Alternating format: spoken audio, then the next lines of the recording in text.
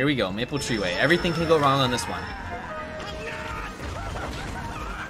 Perfect beginning. Perfect item. Got him with my banana, huge.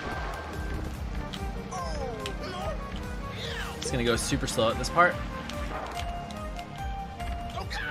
That's fine. That's totally fine. Perfect. I'm so happy with that, honestly. Gonna lay a banana there. And we have a breakaway. I know the Maple Treeway strats. I've made enough mistakes on this level. And I've learned the hard way. Look at this breakaway, guys. This is awesome. Oh my gosh, I saw the banana too.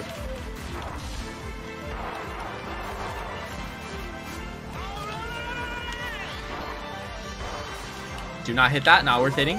You know, very slow.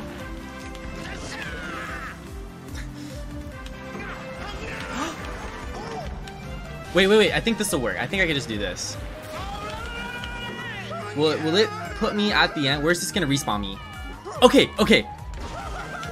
I think my strategy worked. This should this should give me a lap count.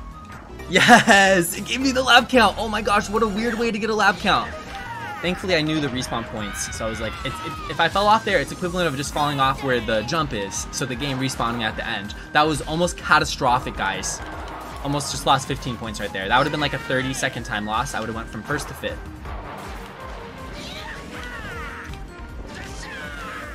This is scary. This is scary.